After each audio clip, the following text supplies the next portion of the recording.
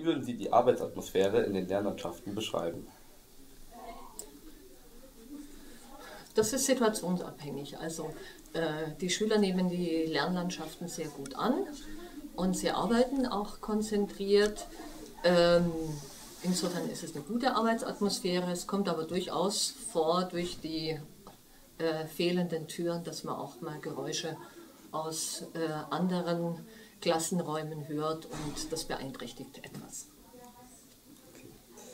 Ähm, ja, das haben Sie jetzt gerade schon ein bisschen genannt, aber was sind denn so generell die Unterschiede zwischen den normalen Klassenzimmern, dem normalen Unterricht und halt hier im Nil? Was unterscheidet so, sich so von dem normalen Unterricht, sage ich mal? Ähm, ich glaube, wir haben generell erstens mal das Zwei-Stunden-Modell. Die Schüler kriegen meistens so eine Inputphase. Das kann wieder über Frontalunterricht sein und haben aber dann in der Festigungsphase die Zeit, sich selbst mit den Inhalten zu beschäftigen, sich selbst zu äh, korrigieren und damit bekommen sie mehr Verantwortung für ihr eigenes Tun. Okay, und jetzt noch äh, Ihre, Persönlichkeit, äh, Ihre persönliche Meinung zu den Lernlandschaften. Äh, würden Sie sagen, Ihnen gefällt der Unterricht hier? Sie machen das hier lieber oder wie ist Ihre persönliche Einstellung? Es ist wieder nicht differenziert. Ich bin sehr gerne hier. Ich bin eigentlich auch immer in der fünften Klasse zugange, weil ich es gerne mag, wenn die Kinder so ganz frisch und mit großen Augen hierher kommen. Ähm, wir haben viele Möglichkeiten, den Raum zu nutzen. Allerdings sind zum Teil die Klassenzimmer, wir wollten eigentlich mit 25 Schülern pro Klassenzimmer arbeiten, das klappt nicht ganz. Also einige der Klassenzimmer sind eigentlich zu klein für dieses Konzept. Dankeschön. Wie kommst du persönlich mit dem Unterricht in den Nillandschaften zurecht?